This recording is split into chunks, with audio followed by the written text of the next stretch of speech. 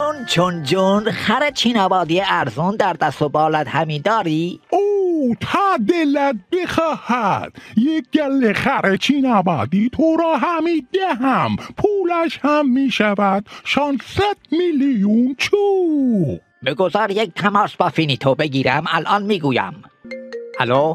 الو یک گل خر چین آبادی همی خریدم دو میلیارد چوق پول را به حسابم همی بریزید که اومدم. چون چون گل خرها را آماده همی کن که می‌خواهم ببرم به فینیتو. اوه اینجا رو باش زک زک تک خور. روی هر کدام از این خرهای چینابادی چند چوب خورده ای؟ تو اول حساب سیسمونی گوساله هایت را پس بده بعد مرا تکخور همی بخوان. پول این خرها چقدر شد؟ پولش دو میلیارد همی شده. تازه 600 چوق از جیب خودم دادم. اگر کل طویله چیناباد را هم بار می‌زدی و می آوردی پولش 600 چوق نمی‌شد. مردک بقیهش را رد کن بیاد وگرنه میبرمت نزد کت خدا.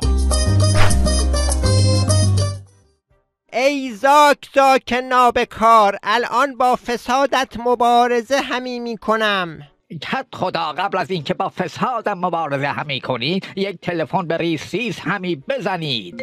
الو ریس ریس می‌خواهم با فساد این زاک زاک مبارزه کنم. آیا بکنم؟ نه کت خدا سهم شما و سهم من را واریز کرده. حسابش پاک می باشندی آورین آورین آورین به تو زاک زاک پاک دست. برو و از خرهای چینابادی حالش را همی ببر. قاف قاف شما هم شلوغش نکنید. سهم همه تان را می‌دهم ای بابا کدخدا اینطور که نمی شود. سهم ما باید از زاک زاک بیشتر باشندی. ای بابا عجب گیری کردیم. آخورتون رو در طویله ما همی کرده اید. ولکنم نیستید که بابا. اه. آی، کدخدا حالی روزگار تو و باقی دوستای فینیتو رو سیاه همی می‌کنن.